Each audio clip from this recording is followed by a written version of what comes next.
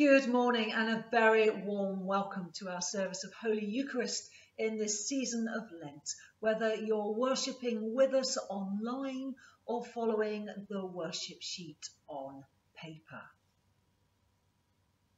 In the name of the Father and of the Son and of the Holy Spirit. Amen. Grace, mercy and peace from God our Father and the Lord Jesus Christ be with you. The Lord bless you. None of us are perfect. We all mess up through the week, whether we are conscious of it or unconscious of it. And particularly during this season of Lent, we, we need to come before God to recognize our faults and to say sorry to God. Almighty God, to whom all hearts are open, all desires known, and from whom no secrets are hidden Cleanse the thoughts of our hearts by the inspiration of your Holy Spirit, that we may perfectly love you and worthily magnify your holy name through Christ our Lord. Amen. Christ himself carried up our sins in his body to the tree, so that free from sin we might live for righteousness. By his wounds we have been healed. Let us therefore confess our sins.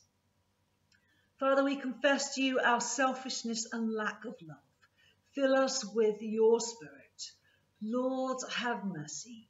We confess to you our fear and failure in sharing our faith. Fill us with your spirit. Lord, have mercy. We confess to you our stubbornness and lack of trust. Fill us with your spirit. Lord, have mercy. May the Lord enrich you with his grace and nourish you with his blessing. The Lord defend you in trouble and keep you from any evil. The Lord accept your prayers and absolve you from your offences for the sake of Jesus Christ our Lord. Amen.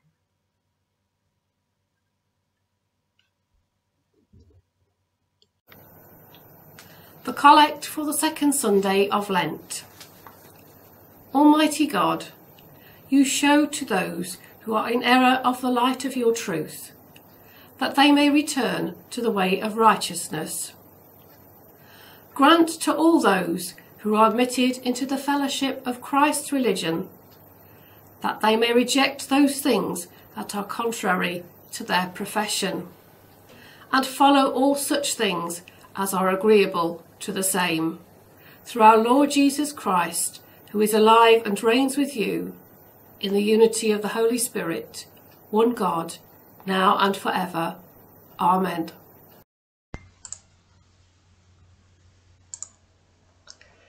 The first reading is taken from the letter to the Romans, chapter 4, verses 13 to 25.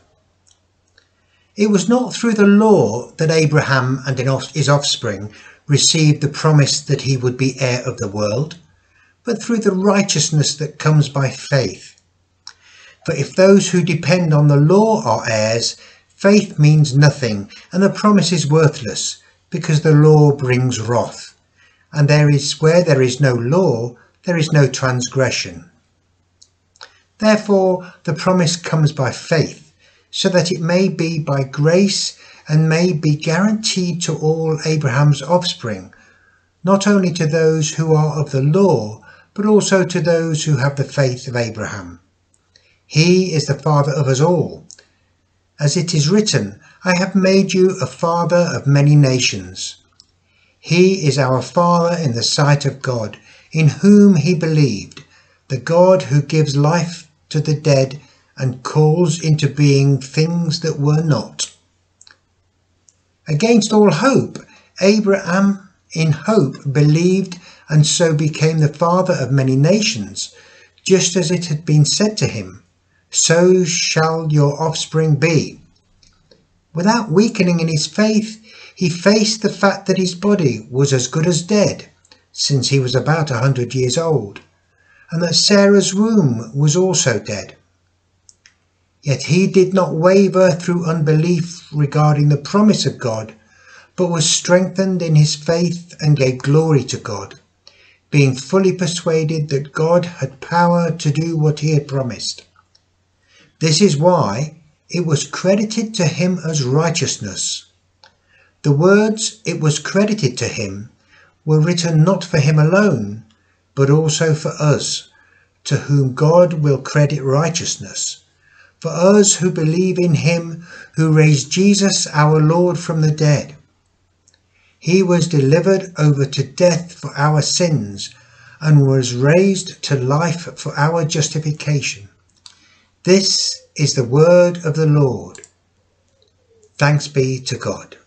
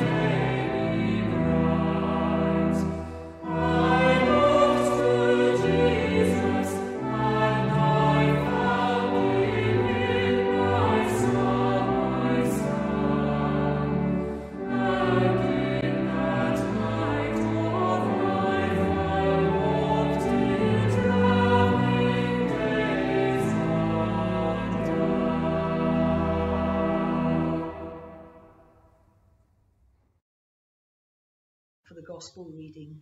Praise to you, O Christ, King of eternal glory. I am the light of the world, says the Lord. Whoever follows me will have the light of life. Praise to you, O Christ, King of eternal glory.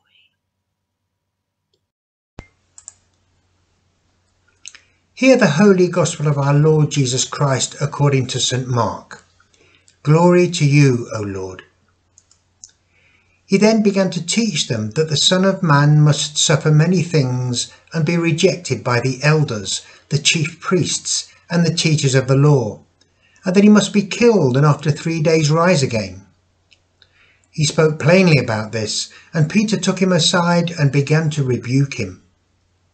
But when Jesus turned and looked at his disciples, he rebuked Peter. Get behind me, Satan, he said. You do not have in mind the concerns of God, but merely human concerns. Then he called the crowd to him along with his disciples and said, Whoever wants to be my disciple must deny themselves and take up their cross and follow me. For whoever wants to save their life will lose it, but whoever loses their life for me and for the gospel will save it. What good is it for someone to gain the whole world yet forfeit their soul? Or what can anyone give in exchange for their soul?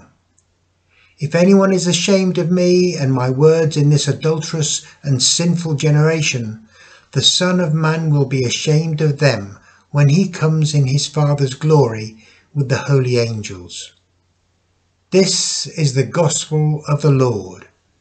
Praise to you, O Christ.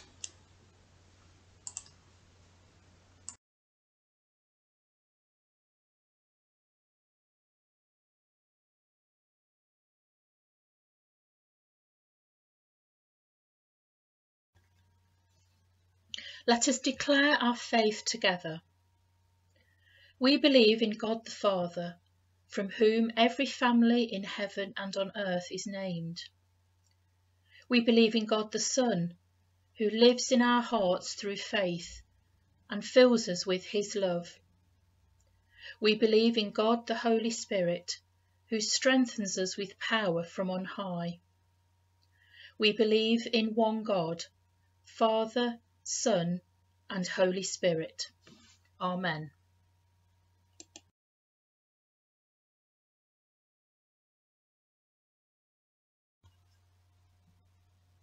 With confidence and trust, let us pray to the Father.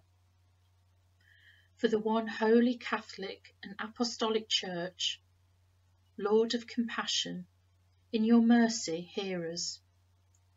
For the mission of the Church, that in faithful witness it may preach the gospel to the ends of the earth. Lord of compassion, in your mercy hear us. For peace in the world, that a spirit of respect and reconciliation may grow among nations and peoples. Lord of compassion, in your mercy hear us. For the poor, the persecuted, the sick, and all who suffer that they may be relieved and protected. We pray for Klaus Kaiser, Anne Temperley, Joyce Lane, Jean Bowley, Michael Gray, Vincent Nash, June Shilton, Sue and John Thorne, Stan Michalski. Lord of compassion, in your mercy hear us for those whom we've injured or offended. Lord of compassion, in your mercy hear us. For grace to amend our lives and to further the reign of God. Lord of compassion, in your mercy hear us. In communion with all those who've walked in the way of holiness, Lord of compassion, in your mercy hear us. God our Father, in your love and goodness, you have taught us to come close to you in penitence, with prayer, fasting, and generosity. Accept our Lenten discipline, and when we fall by our weakness, raise us up by your unfailing mercy. Through Jesus Christ our Lord. Amen. Lord Jesus Christ, in these dark and difficult days, we turn our hearts to you. In ages past, you have delivered our nation from disaster. Do it again, we pray. Give wisdom beyond human wisdom to our leaders. Give strength beyond human strength to the NHS and all our frontline workers. Give comfort beyond human comfort to the elderly and all who grieve. Lord Jesus Christ, in these dark and difficult days, turn your face towards us, have mercy upon us, and heal our land, we pray. Amen. We remember before God those who have died, and we pray that God's love will surround all who mourn them now and always. We give thanks for all those whom we have loved but who have gone ahead of us. We pray for the repose of the soul of Margaret Chambers and George Carpenter. And from St Mary's Book of Remembrance, Merle Enid Taylor. From St Paul's Book of Remembrance, Frank Roger Cora, Alan Booth, Dennis Belton, Joseph McCalshay, Howard James Carter, Madeline Rosemary Edith Tebbett. Rest eternal grant to them, O Lord, and let light perpetual shine upon them. May the souls of the faithful departed, through the mercy of God, rest in peace and rise in glory. So we stand for the peace. Once we were far off, but now in union with Christ Jesus, we have been brought near through the shedding of Christ's blood. For he is our peace. The peace of the Lord be always with you and also with you. Let's offer one another a sign of peace. And so we come now to our Eucharistic prayer.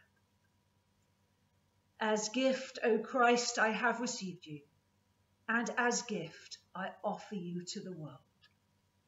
Jesus, the true vine and the bread of life, ever giving yourself that the world might live, let us share your death and passion and make us perfect in your love. Amen. The Lord is here. His Spirit is with us. Lift up your hearts we lift them to the Lord.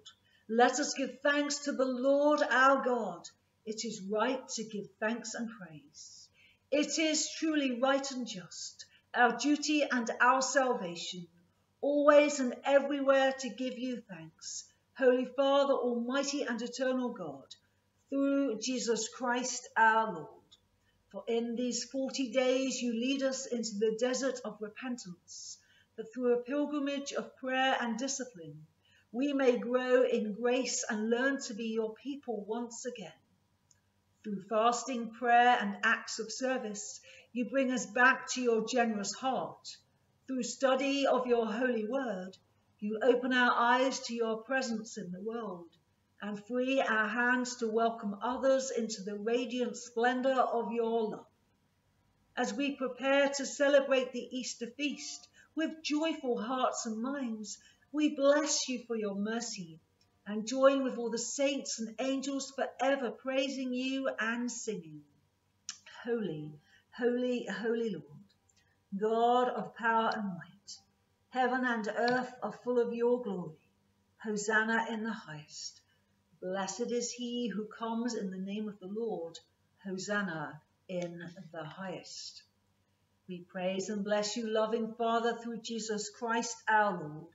And as we obey his command, send your Holy Spirit, that broken bread and wine outpoured may become unto us the most precious body and blood of your dear Son.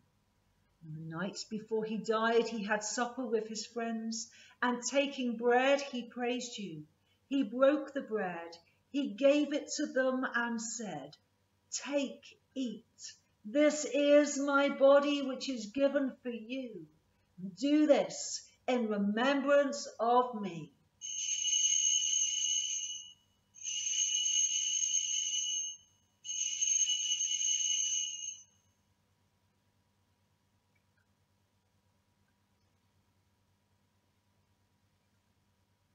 When supper was ended, he took the cup of wine. Again he praised you, he gave it to them, and said, Drink this, all of you. This is my blood of the new covenant, which is shed for you and for many for the forgiveness of sins. Do this as often as you drink it, in remembrance of me.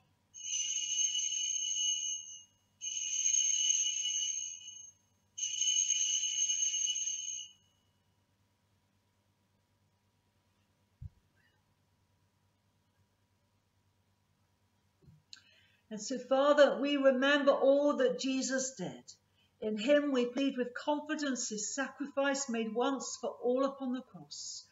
Bringing before you the bread of life and the cup of salvation, we proclaim his death and resurrection until he comes in glory. Great is the mystery of faith. Christ has died, Christ is risen, and Christ will come again. Lord of all life, help us to work together for that day when your kingdom comes and justice and mercy will be seen in all the earth. Look with favour on your people, gather us in your loving arms, and bring us with Mary, the Mother of God, blessed Peter, blessed Paul, blessed Francis, and all the saints and holy apostles to feast at your table in heaven, through Christ, and with Christ, and in Christ. And the unity of the Holy Spirit, all honour and glory are yours, O loving Father, for ever and ever. Blessing and honour and glory and power be yours for ever and ever. Amen. And so we pray for the coming of the kingdom in the words our Lord and Saviour has taught us. Our Father, who art in heaven, hallowed be thy name. Thy kingdom come, thy will be done on earth as it is in heaven. Give us this day our daily bread, and forgive us our trespasses, as we forgive those who trespass against us. And lead us not into temptation, but deliver us from evil. For thine is the kingdom, the power, and the glory, for ever and ever. Amen. We break this bread to share in the body of Christ. Though we are many, we are one body because we all share in the one bread. Lamb of God, you take away the sin of the world, have mercy upon us. Lamb of God, you take away the sin of the world, have mercy upon us. Lamb of God, you take away the sin of the world, grant us your peace. Jesus is the Lamb of God who takes away the sins of the world. And blessed are those who are called to his supper. Lord, I am not worthy to receive you, but only say the word, and my soul shall be healed.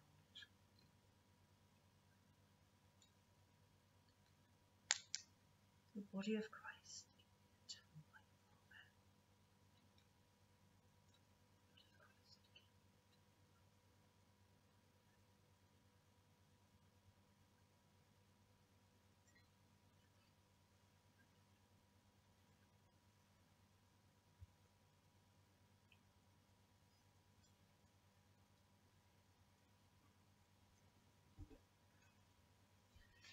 So, for those of you at home, we come now to our act of spiritual communion as we say together, My Jesus, I believe that you are truly present in this most holy sacrament in body and blood.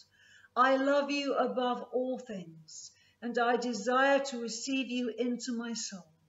Since I cannot at this moment receive you sacramentally, come at least spiritually into my heart. I embrace you as if you were already there, and I unite myself wholly to you. Never let me be separated from you, the Lord our God. Amen. And so we give thanks to God, who has fed us in this holy sacrament. Almighty God, we thank you for feeding us with the body and blood of your Son, Jesus Christ. Through him we offer you our souls and bodies to be a living Send us out in the power of your Spirit to live and work to your praise and glory. Amen. Pray bow your heads to receive God's blessing. Christ give you the grace to grow in holiness, to deny yourselves, to keep a holy Lent, and to take up your cross and follow him, who is the way, the truth, and the life. And the blessing of God the Father, the Son, the Father, the Son, and the Holy Spirit come down upon each one of you now and always. Amen. Go in peace to love and serve the Lord in the name of Christ. Amen.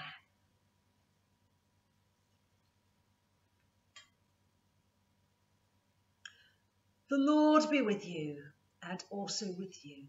Let us bless the Lord. Thanks be to God. Let us pray for the souls of all those whom we have loved but who have gone ahead of us into the arms of Christ in heaven. Rest eternal grant them, O Lord, and let light perpetual shine upon them. May the souls of all the faithful departed through the mercy of God rest in peace and rise in glory. Amen.